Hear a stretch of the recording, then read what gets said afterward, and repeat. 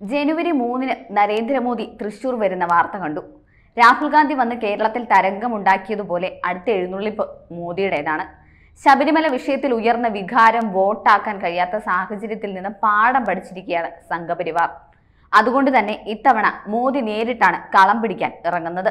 സ്ത്രീ മുന്നേറ്റത്തെ പരമാവധി വോട്ടുപെട്ടിയിലാക്കാനുള്ള ശ്രമത്തിന്റെ ഭാഗമായാണ് പ്രധാനമന്ത്രി നരേന്ദ്രമോദിയുടെ തൃശൂർ വരവ്. ഇത്തവണയെങ്കിലും ബി ജെ പി അക്കൗണ്ട് തുറക്കുമോ എന്നത് നോക്കി തന്നെ കാണേണ്ടതാണ്. വർഗീയ കലാപം സൃഷ്ടിച്ച അധികാരത്തിൽ കയറുന്ന രീതിയാണ് താമര പാർട്ടിക്കുള്ളത്. ദേശീയ തലത്തിലെ ആ രീതികൾ കേരളത്തിൽ പരീക്ഷിക്കാൻ പഠിച്ച മണി പതിനെട്ടും നോക്കിയതാണ് സംഘ്യക്കൂട്ടങ്ങൾ ശബരിമല വിഷയം ആകുന്ന പോലെയെല്ലാം ആളിക്കത്തിക്കാൻ ബി ജെ പി നോക്കിയെങ്കിലും യാതൊരു പ്രയോജനവും ഉണ്ടായില്ല. എന്തായാലും ആ കളം പാളിയതോടെ കേരളം പിടിക്കാൻ മോദി നേരിട്ടിങ് എത്തുകയാണ് ജനുവരി മൂന്നിനാണ് പരിപാടി സംഘടിപ്പിച്ചിരിക്കുന്നത്. സ്ത്രീ ശക്തി സംഗമത്തിന് പുറമെ സ്വരാജ് റൗണ്ടിൽ റോഡ് ഷോയുമുണ്ട്. വനിതകൾക്കുകൂടി സ്വീകാര്യയായ നേതാക്കളെയും ജനപ്രിയരെയും മുന്നോട്ടിറക്കിയാണ് പരിപാടിക്കായുള്ള പ്രചാരണം നടത്തുന്നത്. രാഷ്ട്രീയത്തിന് അതീതമായി പിന്തുണയാർജിക്കാൻ കഴിയുന്ന സുരേഷ് ഗോപിയെ മുൻനിർത്തി തൃശൂരിലെ ജയസാധ്യത പരമാവധി ബലപ്പെടുത്തുകയാണ് ലക്ഷ്യം.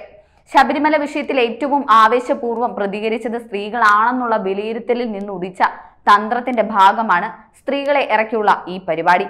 ശബരിമല വിഷയത്തിൽ ഇത്രയും ആർജവം സ്ത്രീകൾ കാണിച്ചെങ്കിൽ അത് വോട്ടാക്കാൻ ശ്രമിച്ചൂടെ എന്ന് ബി ജെ പിക്ക് ചിന്തിക്കാമല്ലോ.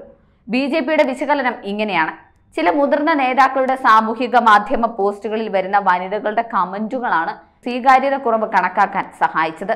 എന്നാൽ പല കാരണങ്ങളാൽ സജീവമല്ലാതായ നേതാക്കളോട് പ്രതികരണക്കാർക്കുള്ള ആഭിമുഖ്യവും പ്രതികരണത്തിൽ വ്യക്തമാക്കിയിട്ടുണ്ട്.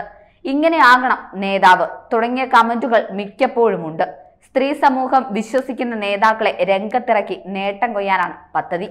തൃശൂരിന് പുറമെ എറണാകുളം മലപ്പുറം പാലക്കാട് ജില്ലകളിലെ വനിതകളെയാണ് പരിപാടിയിൽ പ്രധാനമായും എത്തിക്കുക. ഇതിനു പുറമെ സംഘപരിവാറിന്റെ മാതൃസമിതിയിലെ പ്രവർത്തകരെയും പങ്കെടുപ്പിക്കും. സംഘാടക സമിതിയുടെ രക്ഷാധികാരി പി ടി ഉഷയാണ്. Doctor Sosamma ഐപ്പാണ് chairman. K V Rabia Vaikom Vijayalakshmi തുടങ്ങിയവർ വൈസ് ചെയർമാൻമാരും. മഹിളാ മോർച്ച സംസ്ഥാന പ്രസിഡന്റ് നിവേദിതയാണ് ജനറൽ കൺവീനർ.